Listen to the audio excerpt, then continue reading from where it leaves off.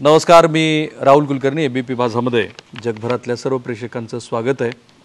आठ दिवस हा मी जो मणिपूरमध्ये काळ काढला तो पुरेसा आहे की विद्यमान मणिपूरची जी स्थिती आहे त्याची तात्कालिक काय कारण आहेत? किती काळ हे अशा पद्धतीचा तणाव घेऊन हे राज्य पुढं चालत राहील हे समजून घेण्यासाठी?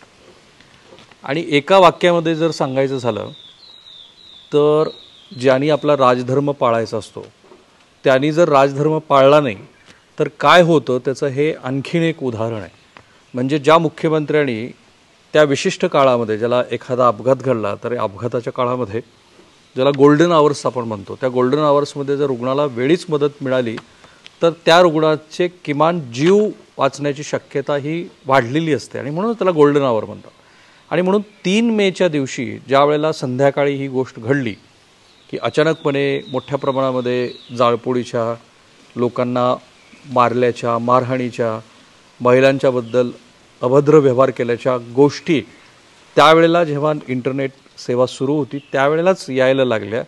त्याच्यानंतरच्या तीन चार आणि पाच सहा ह्या चार दिवसामध्ये त्या राज्यामध्ये कायदा आणि सुव्यवस्था पूर्णपणे कोलमडलेली होती आणि ज्याला आपण गोल्डन डेज किंवा गोल्डन आवर्स म्हणतो त्या काळामध्ये त्या मुख्यमंत्र्यांनी जो राजधर्म पाळायचा होता तो पाळला नाही. त्यातून हे सगळं महाभारत उभं राहिलेलं आहे. अर्थात हे आत्ताच्या स्थितीचं केलेलं विश्लेषण आहे. पण आता एक असं राज्य की जे विद्यमान पंतप्रधान हे जगाला सांगू शकत होते किंवा सेवन सिस्टरचा असा भाग की ज्या भागामध्ये ख्रिश्चन समाज असून सुद्धा भारतीय जनता पार्टीला तिथं स्वीकारलं गेलेलं आहे आणि म्हणून अमेरिकेसह सर्व पाश्चात्य ख्रिश्चन असलेल्या देशामध्ये पंतप्रधान अत्यंत अभिमानानं जे सांगू शकत होते किंवा सांगत असतीलही कारण डिप्लोमॅटिक चेनमध्ये मागच्या दाराने बऱ्याच गोष्टी घडत असतात. कारण काही माध्यमांनी स्पेशली अल जजीराने जी काही भूमिका घेतली की भारतामध्ये फक्त मुस्लिमच नाही तर आता ख्रिश्चनसुद्धा धोक्यात आलेले आहेत. तर अशा पद्धतीच्या मांडणीला किमान सेवन सिस्टरमध्ये कुठेही वाव नव्हता. आपल्यापैकी फार कमी जणांना माहिती असेल पण ही जी साठ सदस्यांची विधानसभा आहे त्याच्यामध्ये कुकी समुदायाचं प्रतिनिधित्व आहे. त्याच्यातले जे सात आठ आमदार आहेत ते भारतीय जनता पार्टीचे आहेत. कुकी समुदायाचे दोन आमदार हेच त्या राज्यामध्ये सध्या मंत्री आहेत. त्यामुळं ज्यांना हे धार्मिक आहे असं वाटतं त्यांच्यासाठी हे धार्मिक नसून ते एथनिक आहे. दोन जमातीमधला हा संघर्ष आहे आणि त्याचा पूर्वइतिहाससुद्धा तसंच असल्यामुळं हे भारतीय जनता पार्टीच्या आत्ताच्या सरकारचं गैरव्यवस्थापन आहे असं म्हणूनसुद्धा हे तिथे कुणीतरी जाणीवपूर्वक केलं आहे असं म्हणायला काही वाव नाही. अर्थात राज्य शासनाच्या व्यवस्थेबद्दल आपण बोलूया. सुदैवाने तिथे बरेच मराठी अधिकारी आहेत होते. काही जणांनी ते केडर सोडून बदलून घेतलं. आजही मराठी अधिकारी तिथे जिल्हाधिकारी आहेत काही एस पी आहेत काही फॉरेस्टमध्ये आहेत. आणि मग त्या राज्याचे मुख्य सचिव श्री विनीत जोशी यांच्यापासून ते आमदार खासदार मंत्री भारतीय जनता पार्टीच्या प्रदेशाध्यक्षा विरोधी पक्षातली मंडळी कुकी समुदायाचे लोक मैती समुदायाचे लोक आणि स्पेशली माझ्याबरोबर ह्या आठ दिवसामध्ये एक नागा व्यक्ती होते के डी नागा त्यांचं नाव. अत्यंत मच्युअर मनुष्य. सो हे हा जो तिन्ही समुदायाचा घटक आहे त्या सगळ्यांशी बोलल्यानंतर जे प्राथमिक आकलन आपल्याला होतं त्याच्यामध्ये दोन तीन गोष्टी आहेत असं दिसतंय. म्हणजे गेल्या आठ दिवसामध्ये मणिपूरमध्ये फर्स्ट हँड एक्सपिरियन्स आपण जो म्हणतो तो फर्स्ट हँड एक्सपिरियन्स सांगण्यासाठी ह्या सगळ्या घटकांना भेटणं आवश्यक होतं. आणि या घटकांना भेटल्यानंतर प्रत्येकाची बाजू समजून घेतल्यानंतर आपल्या असं लक्षात येतं की आत्ताच्या तात्कालिक गोष्टीला बरीच कारणं आहेत. एक म्हणजे ह्या समुदायाचा एकमेकांशी असलेल्या संघर्षाचा जो इतिहास आहे तो अगदी तेराव्या शतकापर्यंत जातो. म्हणजे तेराव्या शतकातला तिथला जो राजा जो मूळचा हिंदू नाही आहे तो नंतर नंतर हिंदू धर्म स्वीकारतो. हिंदू धर्म स्वीकारल्यानंतर बरेच लोक कारण मैतीय समाजामध्ये केवळ दहा टक्के लोक हे मुस्लिम आणि ख्रिश्चन आहेत पण नव्वद टक्के मैतीय समाज मैतीय समाज हा वैष्णव आहे म्हणजे हिंदू आहे. आणि या समाजा या समाजाचा पारंपरिक संघर्ष जो राहिलेला आहे तो नागा आणि कुकीबरोबर राहिलेला आहे. कारण ही जी कुकी मंडळी आहे ती ब्रिटिशांच्या काळामध्ये म्यानमारमधनं तेव्हाच्या ब्रह्मदेशातनं ब्रिटिशांनी आणली. तो ब्रिटिश ॲडमिनिस्ट्रेशनच्या सोयीचाही आणि तेव्हाच्या राजालाही जी गरज होती त्या गरजेपोटी केलेल्या तो भाग होता. पण तेव्हापासून एकतर हे एकदा समजून घेतलं की माझ्या हाताकडे बघा हा जो हात आहे माझा एक फुटबॉलचं मैदान आहे असं समजा आणि हा जो मधला भाग आहे ज्याला ते व्हॅली म्हणतात इथे मैती समाज पूर्णपणे राहतो. या मैती समाजाचं जे काही प्रमाण आहे त्या साठ टक्के मैती समाजानं हा जो मणिपूरचा दहा टक्के भूभाग व्यापलेला आहे. आणि जो उर्वरित दहा टक्के कुकी समाज आहे त्यांनी मात्र नागा आणि कुकीनी मिळून नव्वद टक्के समाज व्यापलेला आहे. म्हणजे ह्या राज्याचं वैशिष्ट्य असं आहे की ह्या राज्याचं भौगोलिक स्थिती हे एखाद्या फुटबॉलच्या मैदानासारखी आणि तो जो इतिहास आहे तो इतिहास असा आहे की हा जो कुकी समुदाय हा सगळा हिमालयाच्या ज्या ईस्टर्न रेंज आहेत त्या ईस्टर्न रेंजमध्ये राहिलेला आहे. आणि मग तिथेच तो राहून तो मैती समाजाबरोबर वेगवेगळ्या कारणामुळं संघर्ष करत राहिला. हा संघर्ष गेल्या आठ वर्षामध्ये तुलनेनं अत्यंत कमी झालेला होता. एकतर ह्या सरकारनं अर्थात मनमोहन सिंग सरकारच्या काळापासून ते प्रयत्न सुरू झाले होते पण ह्या सरकारनं सीमावर्ती भागामध्ये असलेल्या राज्यांचं भौगोलिक महत्त्व संरक्षणाच्या दृष्टीनं ओळखलं आणि त्यांनी त्या ठिकाणी पायाभूत कामं करायला सुरुवात केली. मग तिथे एन आय टी आली काही मेडिकल कॉलेजेस आली खूप सारी इन्फ्रा प्रोजेक्ट सुरू झाले आणि गेली सात आठ वर्ष त्या भागातले जे इन्सर्जन्स होते म्हणजे दोन्ही समुदायातले जे समाजविरोधी कारवाया करणारे सशस्त्र कारवाया करणारे जे लोक होते त्यांना मुख्य प्रवाहामध्ये आणण्याचा प्रयत्न झाला किंवा त्यांना संपवलं ज्याला वॉशआउट पण म्हणतो. आता इतकं सगळं सुरू असताना या मुख्यमंत्र्याची जी नवीन टर्म सुरू झाली दोन हजार बावीसच्या विधानसभा निवडणुकीमध्ये भारतीय जनता पार्टीला पुन्हा एकदा सत्ता मिळाली आणि ती मिळाल्यानंतर ह्या सरकारनं दोन तीन गोष्टीकडं अत्यंत प्रकर्षाने लक्ष दिलं. एक तिथे जो नॉर्कोटेक्स पॉपीचा बिझनेस आहे त्या पॉपीच्या बिझनेसमध्ये त्यांनी जिथे जिथे पॉपीचा बिझनेस नॉर्कोटिक्सचा बिझनेस होता कारण शेजारी म्यानमार बँकॉक पट्टाया वगैरे हा सगळा भाग आहे. या भागामध्ये त्यांनी त्या पॉपीच्या बिझनेसला डिस्टर्ब डिस्ट्रॉय करण्याचा प्रयत्न सुरू केला. म्हणजे अनेक ठिकाणी जंगलच्या जंगलं सा साफ करून त्या ठिकाणी पॉपीची शेती केली जात होती. त्यांनी तो ड्राईव्ह घेतला आणि तो ड्राईव्ह घेऊन तो जो पॉपीचा व्यवसाय होता तो व्यवसाय संपवला. मला एक शक्यता अशी वाटते की आत्ताचा जो काही तिथे सगळा प्रकार सुरू आहे त्याच्यामागे कुठे ना कुठेतरी ह्या व्यवसायातनं ह्या कारवायातनं दुखावले गेलेले काही भाग आहेत. दुसरा भाग ज्याला डिमार्केशन ऑफ फॉरेस्ट आपण म्हणतो म्हणजे जंगलामध्ये राहत असलेली जी मंडळी आहे ती जंगलामध्ये राहत असलेली मंडळी ही फॉरेस्टवरती जंगल भागावरती अतिक्रमण करून आहेत. म्हणून ह्या विद्यमान वीरेंद्र सिंग या मुख्यमंत्र्यानं सतत ड्राईव्ह घेतला आणि गेली पन्नास वर्ष जे झालेलं नव्हतं ते पन्नास वर्षाचं काम अगदी कमी काळामध्ये करा अशा पद्धतीचा आग्रह धरला. हे अर्थात आपल्या मराठी अधिकाऱ्यांनी अत्यंत तपशीलवारपणे मला सांगितलं. पण त्यातनं जरी मैती समाजाचं सुद्धा काही भागातल्या लोकांना तो डोंगराळ भाग सोडावा लागला तरी बहुसंख्यानं कुकी समुदायच डोंगराळ भागामध्ये राहत असल्यामुळं आणि नागा समुदायाच्या लोकांना याची फारशी झळ अद्याप तरी बसलेली नसल्यामुळं त्यांच्यामध्ये अस्वस्थता निर्माण झाली. त्यासोबतच तिथल्या मणिपूरच्या उच्च न्यायालयानं एक निवाडा दिला एकोणीसशे एकोणपन्नास सालापर्यंत कारण हे मणिपूरचं राज्य जे ब्रिटिश राजवटीच्या अंमलात होतं त्याने एकोणीसशे सत्तेचा सत्तेचाळीस साली ॲक्सेसन ट्रिटी म्हणजे भारतामध्ये सामिलीकरण करण्याला मान्यता दिली प्रत्यक्षात प्रत्यक्षात एकोणीसशे एकोणपन्नास साली ते राज्य भारतामध्ये सामील झालं. तेव्हापर्यंत मैती समुदायाला एस टी रिझर्व ट्राईब्स यातलं रिझर्वेशन त्यांना मिळत होतं. परंतु ते पुन्हा त्यांना हवं अशा पद्धतीचं जनभावना आणि त्यातनं मणिपूर उच्च न्यायालयाचा आलेला निवाडा की ह्या समुदायाला त्यांचा पूर्व इतिहास पाहता त्यांना अशा पद्धतीनं आरक्षण द्यायला हरकत नाही चार आठवड्यामध्ये तुम्ही विचार करा. असं सुचवल्यानंतर मात्र हे सगळे असलेले धकधकत्या ज्या गोष्टी होत्या त्या धगधगत्या गोष्टी एकत्रित आल्या. कारण एक एक गोष्ट लक्षात घ्या.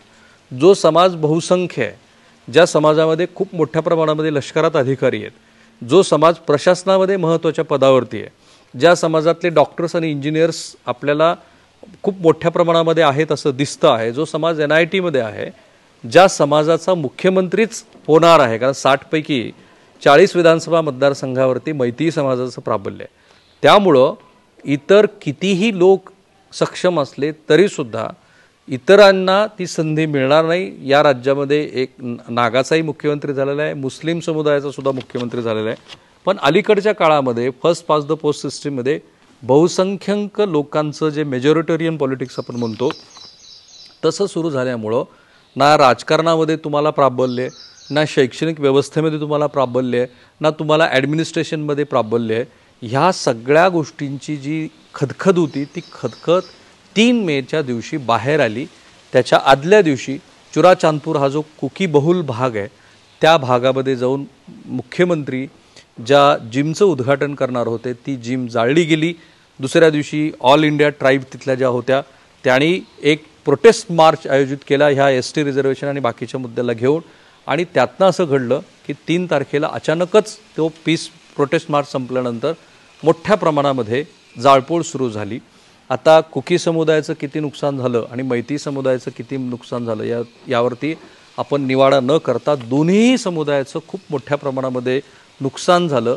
बहुसंख्यांकांनी केलेल्या कारवाईमध्ये जवळपास त्या इम्फाळ शहरातले हजारो कुकी हे त्यांचं राहतं घर व्यवसाय सोडून डोंगर भागामध्ये पळून गेले. त्यांना लष्करानं मदत केली. तीच परिस्थिती चुराचांदपूर वगैरे भागातनं कॉम्पके वगैरे भागातनं जे मैतीय होते ते व्हॅलीकडं पळत आले. तिथं त्यांना कुकी समुदायानं तशाच पद्धतीची वागणूक दिली. अत्यंत स्पष्टपणे सांगायचं झालं तर माणुसकी विसरून दोन समुदायाचे लोक एकमेकांच्या विरोधामध्ये उभे ठाकले आणि त्यांनी अशा गोष्टी केल्या की ज्या आपल्याला केवळ काही विशिष्ट राज्यामध्ये आपल्याला किंवा विशिष्ट देशामध्ये आपण ऐक्यू होतो. आता याच्यामध्ये जी भर पडली ना कारण मी दोन्ही समुदायाच्या लोकांना भेटल्यानंतर प्रत्येकाने आपापली एक हॉरिफिक स्टोरी जी त्यांनी ऐकलेली आहे ज्याला आपण इंग्रजीमध्ये हेरसे म्हणतो तशी सांगितली. म्हणजे काय?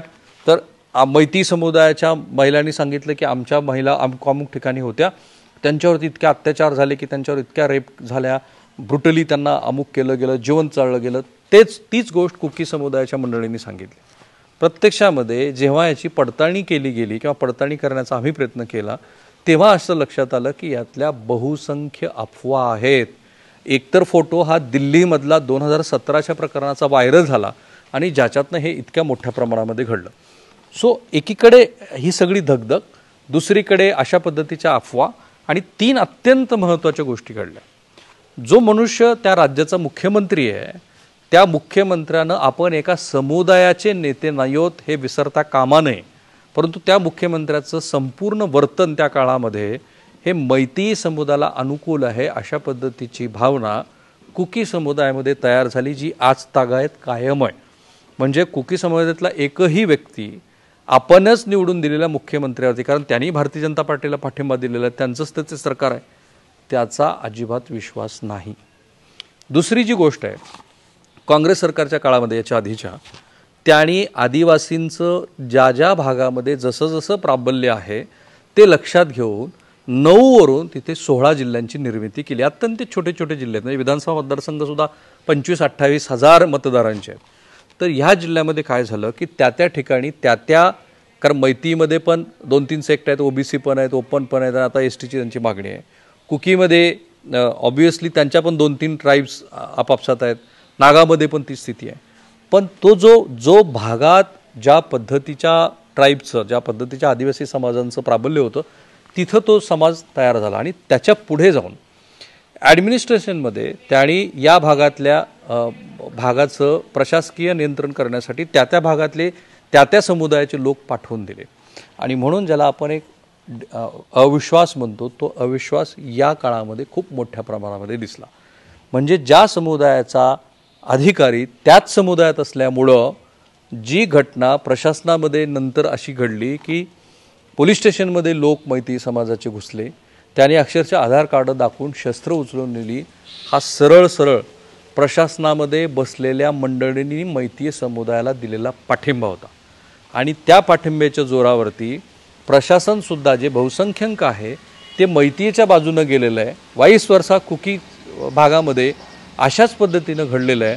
असा समज तिथे घडला. म्हणजे एकतर मुख्यमंत्र्यावर विश्वास नाही दुसरा प्रशासनावर विश्वास नाही आणि तिसरी गोष्ट जी अत्यंत चिंताजनक आहे ती अशी आहे की तिथे आसाम रायफलमध्ये आसाम रायफलच्या मंडळींनी अनेक जणांना वाचवण्याचा प्रयत्न केला आणि मैत्री समुदायाचा असा समज झाला की पारंपरिक या आसाम रायफलमध्ये कुकी समुदायाचं प्राबल्य असल्यामुळं जे की नाही आहे त्यांनी ह्या सगळ्या वादामध्ये कुकी समुदायाला खूप मोठी मदत केली आणि म्हणून आसाम रायफलबद्दल मैत्री समुदायाला अजिबात विश्वास नाही. म्हणजे प्रशा प्रशासन नाही राजकीय नेता नाही आणि आर्मी पण नाही.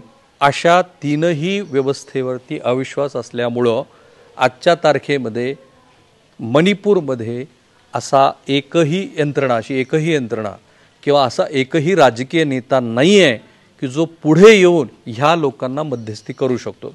त्यातल्या त्यात नागा समुदाय की ज्याचा नागा आणि कुक्की हाही प्रदीर्घ असा संघर्ष चालला. कोण म्हणतं एक हजारापेक्षा अधिकचे लोक मेले त्या संघर्षामध्ये आठ नऊ वर्ष हा संघर्ष चालला. त्या समुदायातल्या काही जाणत्या मंडळींनी ह्या दोन समुदायामध्ये मध्यस्थी करण्याचा प्रयत्न चालवलेला आहे. मधल्या काळामध्ये या मुख्यमंत्र्याच्या विरोधामध्ये पण चार पाच जण हे मुख्यमंत्री होण्यासाठी इच्छुक होते. त्यांनी त्यांच्या विरोधामध्ये एक आघाडी उघडलेली होती. म्हणजे राजकीयदृष्ट्यासुद्धा ते राज्य अस्थिर होतं. चाचपणी केली जात होती की याला कोण पर्याय आहे का? आता तो पर्याय शोधत असतानाच अशा पद्धतीचा हिंसात्मक गोष्टी घडायला लागल्यानंतर मुख्यमंत्र्यांनी अत्यंत चाणाक्षपणे त्या प्रकरणाचा स्वतःच्या फायद्यासाठी वापर करून घेतला. तो फा तो वापर असा की तिथे मीरापाईबी म्हणजे ज्याला टॉर्च बेरर आपण म्हणतो अशा महिलांचं संघटन की जे अंमली पदार्थाच्या विरोधामध्ये काम करण्यासाठी स्थापन झालं अर्थात त्याचा इतिहास खूप मोठा आहे त्याच्या यादीचा आहे. हळूहळू ते संघटन या सगळ्या संघर्षामध्ये मैती समाजाचं संरक्षण करणारी अशा पद्धतीची यंत्रणा बनली आणि ती बनल्यानंतर त्या यंत्रणेतल्या काही घटकाचा वापर करून मुख्यमंत्र्यांनी आपला राजीनामा सर्वांच्या समोर स्पेशली कॅमेऱ्यासमोर फाडून टाकला. आता त्यामुळं ज्यांच्या मनामध्ये आपल्याला मुख्यमंत्री व्हायचं अशी भावना होती त्यांचाही आपोआप निकाल लागला. दुसरं तिथं जो राजवंश आहे त्या राजवंशाचे आत्ताचे जे कोणी आहेत जे खासदार पण आहेत त्यांच्या संरक्षणासाठी संरक्षणासाठी जी यंत्रणा पोलीस किंवा तत्सम असायला हवी त्याच्याऐवजी त्यांनी एक स्वतःची एक यंत्रणा उभा केली. त्या यंत्रणेनं जे की ऑब्विसली माहिती आहेत त्यांनी तीन चार पाच आणि सहा मे या काळामध्ये पोलिसांच्या उपस्थितीमध्ये आणि मैती समुदायांचा जो एक मोठा तिथं जमाव जमलेला होता त्यांच्या उपस्थितीमध्ये अत्यंत हिंसात्मक कारवाया केल्या. घरं जाळणं ज्या काही दृश्य स्वरूपातल्या गोष्टी माध्यमात आल्या अशा गोष्टी करणं. आणि त्यामुळं त्या राज्यामध्ये पोलीस यंत्रणेबरोबर एक पॅरल दुसरी यंत्रणा चालू आहे असं दिसतं म्हणजे प्रत्येकाच्या हातामध्ये शस्त्र आहेत. प्रत्येकजण आपल्या स्वतःचं संरक्षण करण्यासाठी उभा आहे. आत्ता राहिला महत्त्वाचा मुद्दा की ही शस्त्र जी मैती समुदायाच्या हातात पडली ती ऑब्व्हियसली पोलीस स्टेशनमधनं पळून दिली मग कुकी समुदायाकडं जी आलेली शस्त्र आहेत ती कुठली आहेत?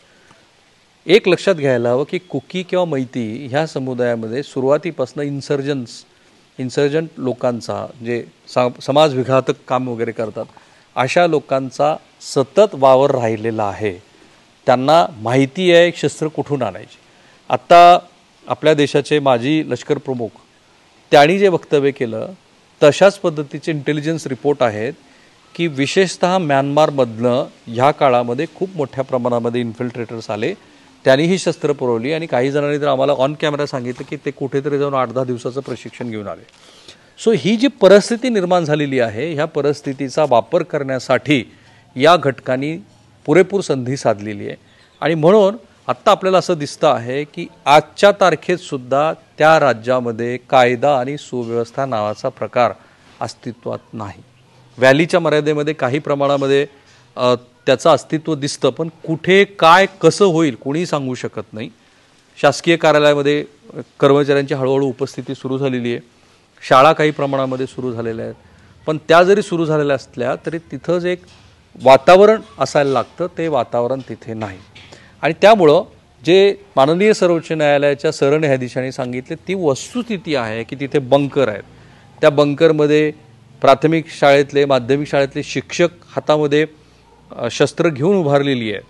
तसेच एन आय टीच्या डिपार्टमेंटचा एक हेडसुद्धा हातामध्ये शस्त्र घेऊन उभारलेला आहे.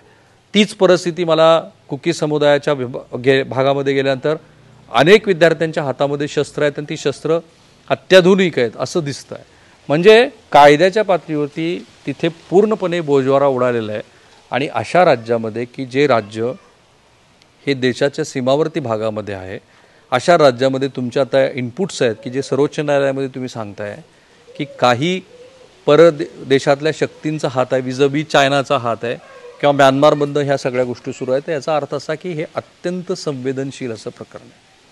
आता प्रश्न येतो की जो अनेकांना पडलेला आहे की माननीय पंतप्रधानांनी ह्याकडं दुर्लक्ष का केलं? आता प्रशासनातल्या अनेक लोकांशी बोलल्यानंतर त्यांनाही जे आश्चर्य वाटतं पण त्यांचं जे आकलन आहे ते समजून घेतल्यानंतर सुरुवातीच्या टप्प्यामध्ये राज्य सरकारकडनं ज्या काही इनपुट्स दिल्या गेल्या त्या इनपुट्स पाहता फार गोष्टी हाताच्या बाहेर गेल्यात याचा अंदाज सुरुवातीच्या टप्प्यात आलाच नाही. आणि आला तरी राज्य इतकं छोटं होतं की ते बघेल त्यांच्या त्यांच्या पद्धतीचा जो इतिहास आहे ते पाहता ते करतील मिटवतील अशी जी भावना होती त्या भावनेपोटी अत्यंत दुर्लक्ष झालं. आणि आत्ता ते झालेलं दुर्लक्ष हे हे सगळं प्रकरण हाताच्या बाहेर गेलं आहे असं दाखवतं. आता कुकी समुदायात पण भारतीय जनता पार्टी आहे नागा समुदायामध्ये पण भारतीय जनता पार्टी आहे आणि मैतीमध्ये तर आहेच आहे. अशा वेळेला कुणाला दुखवायचं त्यापेक्षा जे चाललंय ते चालू द्या. अशा भावनेतनं केलेलं वर्तन आणि ज्या राजधर्माबद्दल आपण बोललो ते राजधर्म तिथं अजिबात पाळला गेला नाही. आणि म्हणून आता स्थिती अशी निर्माण झालेली आहे की ह्याच तारखेला ना केंद्र सरकारनं ते प्रकरण नीट हाताळलं ना राज्य सरकारने हाताळलं. आणि त्यामुळं आत्ताच्या स्थितीमध्ये जर मणिपूर शांत व्हायचं असेल तर खूप मर्यादित पर्याय सध्या केंद्र सरकारकडे आहेत. पर्याय क्रमांक एक कुठल्याही परिस्थितीमध्ये सध्या जो ताणतणाव आहे तो ताणतणाव जी हिंसा सुरू आहे ती हिंसा कमी करणे.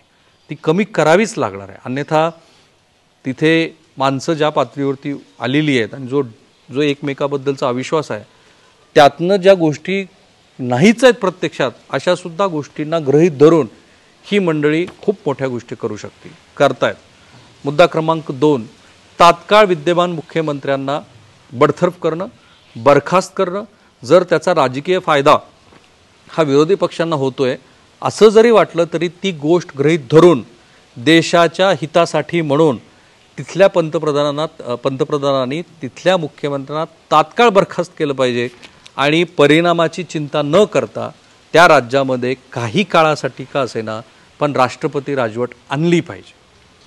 बॅक चॅनलमध्ये काही गोष्टी सुरू आहेत ज्याला आपण जसं परदेशी नीतीमध्ये ज्या देशाकडं आपण जात असतो त्या देशातल्या मंडळींशी आपण आधीही बोलत असतो नंतरही बोलत असतो. तसं बॅक चॅनलमध्ये दोन्ही तिन्ही समुदायाच्या मंडळींशी त्यांचं बोलणं सुरू आहे. परंतु त्याला अजिबात सकारात्मक प्रतिसाद नाही आहे त्याची जी कारणं मी आधी तीन सांगितली की मुख्यमंत्र्यावरती अविश्वास प्रशासनावरती अविश्वास आणि मिलिटरीवरती अविश्वास तो असल्यामुळं आजच्या तारखेमध्ये पंतप्रधान किंवा केंद्र सरकारनी जर बॅक चॅनलमध्ये कुठलं राजकीय पॉलिटिकल सोल्युशन ज्याला राजकीय अशी गोष्ट की जी जशी की आता कुकी समुदायाचं म्हणणं आहे की जसं गोरखालँड आहे किंवा काही अशा राज्यामध्ये ज्या अशा व्यवस्था आहेत की त्याच राज्यामध्ये ते राहत आहेत परंतु त्यांचं ॲडमिनिस्ट्रेशन सेपरेट आहे.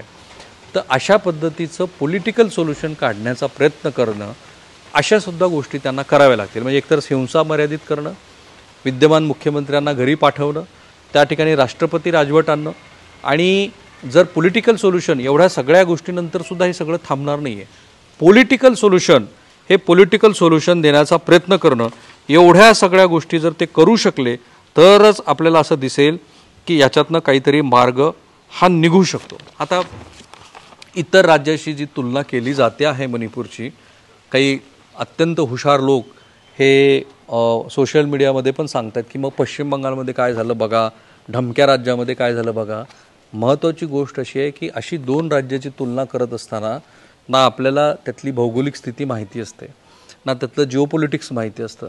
आणि मुळामध्ये आपल्याच देशातल्या दोन राज्यातल्या गोष्टींची म्हणजे दोन अधिक दोन चार असं सांगण्याचा जो प्रयत्न आहे तो आपण कोणाबद्दल करतो ह्याची तरी कल्पना आहे का आपल्याला? तर अशी तुलना ही अत्यंत अप्रस्तुत आहे. मणिपूरला मणिपूरसारखंच बघायला हवं. कारण सेवन सिस्टरमधल्या त्या एका राज्यातला हा जो काही विसंवाद आहे तो शेजारच्या मेघालयामध्ये पण जाऊ शकतो. शेजारच्या नागालँडमध्ये पण जाऊ शकतो. शेजारच्या त्रिपुरामध्ये पण जाऊ शकतो. शेजारच्या आसाममध्ये पण जाऊ शकतो. आणि हे आपल्याला परवडणार आहे का? तर ते अजिबात परवडणार नाही आहे हे आपल्याला लक्षात घ्यायला हवं. आणि म्हणून याच्यामध्ये जर आपल्याला काही करता आलं तर ह्या तातडीच्या सगळ्या गोष्टी करून त्याचा आपल्याला उहापोह करावा लागेल. आता प्रश्न बऱ्याच जणांना हाही पडला आहे की एवढं सगळं होत असताना माननीय पंतप्रधान ह्याच्यावरती का बोललेले नाही आहेत तर माझं त्याबद्दलचं आकलन असं आहे की श्री नरेंद्र मोदी यांनी डिमॉनिटायझेशन किंवा तत्सम ज्या काही चुका केल्या त्या चुका केल्यानंतरसुद्धा टिना फॅक्टर म्हणा किंवा श्री मोदी यांच्यावरती असलेली लोकांची विश्वासाची भावना त्यांनी मधल्या काळामध्ये केलेलं जे काही काम असेल ते त्याच्यामुळं त्यांनी अनेक चुका केल्यानंतरसुद्धा अगदी उत्तर प्रदेशमध्ये शेतकऱ्यांचं आंदोलन ज्या पद्धतीनं गाजलं खूप आंतरराष्ट्रीय पातळीवरती त्याचे पडसाद उमटले तरीसुद्धा उत्तर प्रदेशमध्ये भारतीय जनता पार्टी बहुमतानं विजयी झाली. अगदी काल परवाच्या स्थानिक स्वराज्य संस्थांच्या निवडणुकीमध्ये पण झाले. त्यामुळं ज्याला राजकीयदृष्ट्या भारतीय जनता पार्टीने केलेल्या चुकाची इथला मतदार नोंद घेतोय असं जोपर्यंत होणार नाही तोपर्यंत भारतीय जनता पार्टी आणि पंतप्रधान नरेंद्र मोदी यांनी या अशा गोष्टीला प्रतिसाद द्यावा अशी काही त्यांची स्थायी भाव नाही आहे त्यांचा. त्यांच्या स्वभावाचा तो भाग नाही आहे म्हणजे त्यांनी कुणाला तरी विरोधकांनी खूप त्यांच्यावरती टीका केली. आपल्या राज्यपालांचं उदाहरण घ्या ना. आपल्या राज्यपालांच्यावरती महाराष्ट्रात किती टीका झाली. केव्हा गेले राज्यपाल जेव्हा भारतीय जनता पार्टीला त्यांना पाठवायचं होतं तेव्हा. आणि म्हणून जोपर्यंत राजकीयदृष्ट्या भारतीय जनता पार्टीला असं वाटत नाही की आपल्याला ह्या प ह्यापासनं काहीतरी राजकीय तोटा होऊ शकतो तो वाटत नाही तोपर्यंत माननीय पंतप्रधान श्री अमित शहा हे फार ॲक्टिव्हली याच्यावरती बोलतील असं दिसणार नाही. दोन हजार चोवीसच्या निवडणुकीमध्ये हा महत्त्वाचा प्रचाराचा मुद्दा असेल का असा प्रश्न मी श्री अरविंद सावंत यांना विचारला होता. त्यांनी सांगितलं तो असेल. परंतु आणखी नऊ महिन्याचा वेळ आहे. नऊ महिन्याचा काळ हा खूप मोठा असतो. या काळामध्ये काय काय गोष्टी कशा कशा पद्धतीनं घडत जातात हे इतक्यात सांगणं फार अवघड आहे. आता ह्या सगळ्यानंतर सुद्धा एक अत्यंत महत्त्वाचा प्रश्न की जो आज उद्या आणि परवासुद्धा आपल्यासमोर असणार आहे. आणि तो प्रश्न असा आहे की आज ह्या फुटबॉलसारख्या मैदानासार सारख्या अत्यंत छोट्या अठ्ठावीस लाख लोकसंख्या असलेल्या राज्यातल्या लोकांच्या मनामध्ये मतभेद नसून तो जो मोठ्या प्रमाणामध्ये मनभेद तयार झालेला आहे म्हणजे या डोंगर रांगावरती बसलेले लोक हे व्हॅलीतल्या लोकांकडं अत्यंत संशयाने बघत आहेत आणि व्हॅलीतले लोक हे वरच्या डोंगर रांगातल्या लोकांकडं खाऊ की तुला काही मारून टाकू अशा भावनेनं बघतायत. अशा वेळेला हा जो मनभेद आहे हा मनभेद कमी होण्यासाठी पुढची कित्येक वर्ष लागणार आणि तरी नं तरीसुद्धा आत्ता ज्यांनी ह्या पद्धतीचा हिंसाचार बघितला आहे त्या पिढीच्या मनामध्ये कायमस्वरूपी धाकधुकीची भावना असणार आहे. त्यामुळे ह्या सगळ्या संघर्षातनं जर काही घडलं असेल तर हे घडलं आहे की आपल्याच देशातल्या एका राज्यातल्या दोन समुदायाच्या मनामध्ये सगळ्या उपाययोजना झाल्या आणि ते राज्य पुन्हा एकदा सामान्य दिशेनं जरी जाऊ लागलं तरीसुद्धा त्यांच्या मनातली अविश्वासाची भावना जी आहे ती इतक्यात कदाचित एक दोन पिढ्यामध्ये सुद्धा कमी होईल याची अजिबात शक्यता नाही. आणि गेल्या आठ दिवसामध्ये मी जर काही समजून घेतलं असेल तर ते हे आहे. सो थांबूया आपण इथे. आमचा हा प्रयत्न आहे की प्रत्यक्षामध्ये फील्डवरती जाऊन कारण तुम्हा सर्वांना मणिपूरचं आम्ही केलेलं कव्हरेज आवडलेलं आहे. अत्यंत तटस्थपणे आम्ही कुठल्याही गोष्टीकडे बघण्याचा प्रयत्न करतो. सत्याची प्रत्येकाची व्याख्याही वेगवेगळी असते. आणि ते करत असताना ह्या देशाच्या हिताची जी गोष्ट आहे ती या माध्यमातून आपल्यासमोर मांडण्याचा आमचा हा जो प्रयत्न आहे तो तुम्हाला कसा वाटतो तो या व्हिडिओच्या कमेंट बॉक्समध्ये पण आम्हाला कळवा. माझे आणि ए बी पी माझाचे जेवढे म्हणून सोशल मीडिया प्लॅटफॉर्म आहेत ते सगळे फॉलो करायला लागा. आपण एक्सप्लेन करण्याच्या तीन चार भागातला हा पहिला भाग आहे. त्यातनं मी खूप प्राथमिक अशी गोष्ट सांगितलेली आहे. इंटेलिजन्सचे रिपोर्ट्स माझ्या हातामध्ये आहेत ते मी तुम्हाला पुढच्या भागामध्ये सांगेन. एबीपी माझा. उघडा डोळे बघा नीट.